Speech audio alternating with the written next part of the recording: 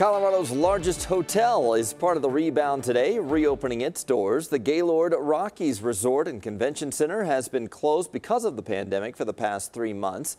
But Denver 7's Eric Lupher joins us live. And Eric, a huge resort, lots to do, of course. Not surprising people are jumping to book their spot here.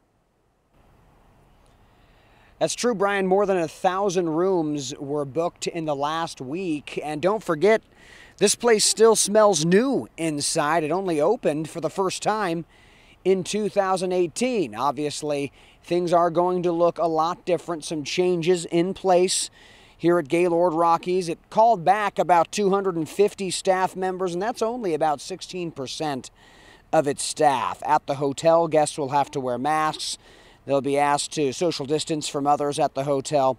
Hotel rooms will be cleaned and then sanitized with an electrostatic sprayer. Large meetings and conventions won't return until next month. All the pools in the Lazy River are opening today, though, but guests will need to make a pool reservation.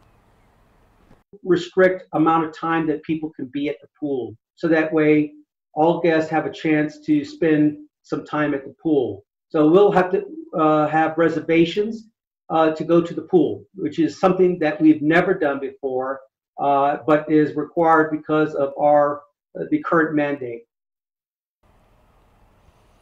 Now, Gaylord Rockies uh, asking for a variance to allow more people to enjoy the pools and the lazy rivers and to open more rooms for guests because honestly, what's happening now just certainly won't be sustainable this resort lost $58 million in revenue over the time that it's been closed due to COVID 19. That's a lot of money.